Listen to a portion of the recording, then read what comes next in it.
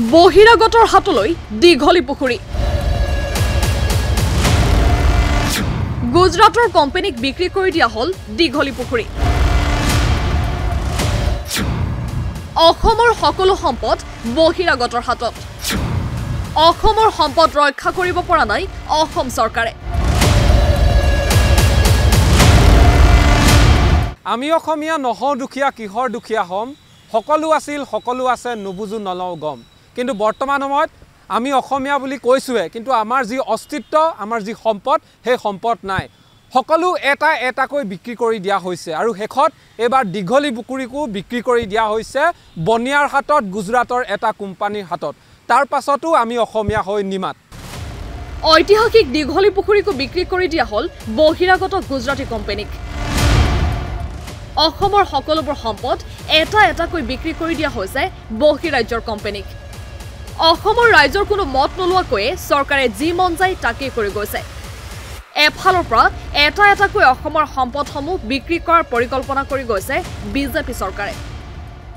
ৰাইজৰ মত শুনিব নিবিচৰা চৰকাৰে মাথো বিক্ৰী কৰি গৈছে অসমীয়া জাতিৰ স্বাভিমানক। প্ৰাগজ্যোতিষপুৰৰ ৰজা ভগদত্তই ব্ৰহ্মপুত্ৰৰ পৰা এটা সুঁতি খান্দি সৃষ্টি কৰিছিল দীঘলী পুখুৰী।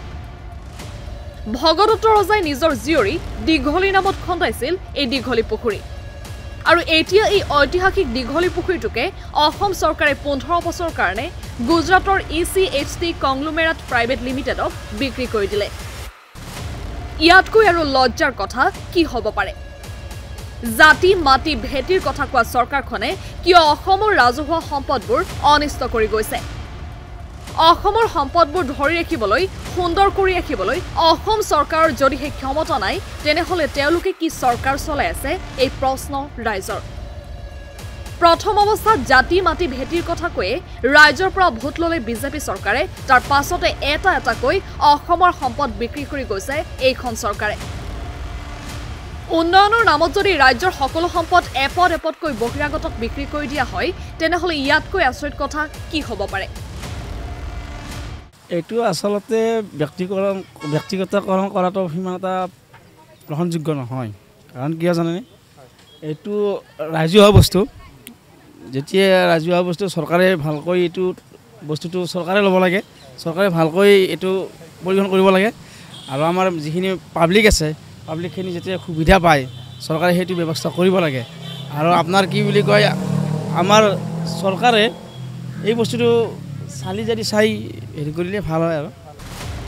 আমি অসমীয়া নহওঁ দুখীয়া এই কথাষাৰ ক্ৰমাৎ লাহে লাহে নাইকিয়া হোৱাৰ পথত অতিক্ৰম হৈছে। অসমীয়া হৈও এদিন অসমীয়াই নিজৰ সম্পদ বিচাৰি কান্দিব লাগিব। দীঘলী পুখুৰী গুজৰাটৰ ব্যক্তিগত প্ৰতিষ্ঠানক দিয়াৰ পাছৰ পৰাই এতিয়া দীঘলী পুখুৰীৰ টিকটৰ মূল্যও বৃদ্ধি পাব। বৃদ্ধি পাব নাও সেৱাৰ মূল্যও। বৰ্তমান সময়লৈকে টিকটৰ মূল্য ধাৰ্য কৰা নাই যদিও পূৰ্বৰ তুলনাত টিকটৰ মূল্য দহ টকাকৈ বৃদ্ধি পাইছে। অৰ্থাৎ দীঘলী পুখুৰী চাবলৈ এতিয়া এজন ব্যক্তিয়ে দিব লাগিব বিছ টকা। আগৰ ৰেটটো আছিলে চিলড্ৰেন চিলড্ৰেন হিচাপে চিলড্ৰেন টিকেটত দিছিলে আঠ বছৰ তলৰ সেইসকলক চিল চিলড্ৰেন বুলি। তেওঁৰ সেই ল'ৰা ছোৱালীৰ পৰা লোৱা হৈছিলে পাঁচ টকা। আৰু আঠ বছৰৰ ওপৰবিলাক এডাল স্বৰূপে সেইটো লোৱা গৈছিলে দহ টকা। অঁ দহ টকা আৰু পাঁচ টকা চিলড্ৰেন দহ টকা আৰু এডাল চিলড্ৰেন পাঁচ টকা আৰু এইডাল হ'ল দহ টকা। পৰিস্থিতি হৈছে এতিয়া ৰেটটো এতিয়া ৰাইজেও অনুভৱ কৰিছে আৰু আমিও আগৰ ৰেটটো নাই এতিয়া এইটো এই ৰেটত এতিয়া বৰ্তমান হেৰি আছে টিকেট চেল কৰি আছে। এনেদৰেই অসমৰ সম্পদ বহিৰাগতক বিক্ৰী কৰি পুনৰ অধিক মূল্যত অসমৰ জনতাৰ পৰাই বহিৰাগত কোম্পানীয়ে লুটি পুটি খোৱাত অৰিহণা আগবঢ়াইছে অসম চৰকাৰে। কিন্তু এই বিষয়টোৰ সন্দৰ্ভত নীৰৱ ভূমিকা গ্ৰহণ কৰিছে সদৌ অসম ছাত্ৰ সন্থাকে ধৰি বহু জাতীয় সংগঠনে। News desk report the cross current.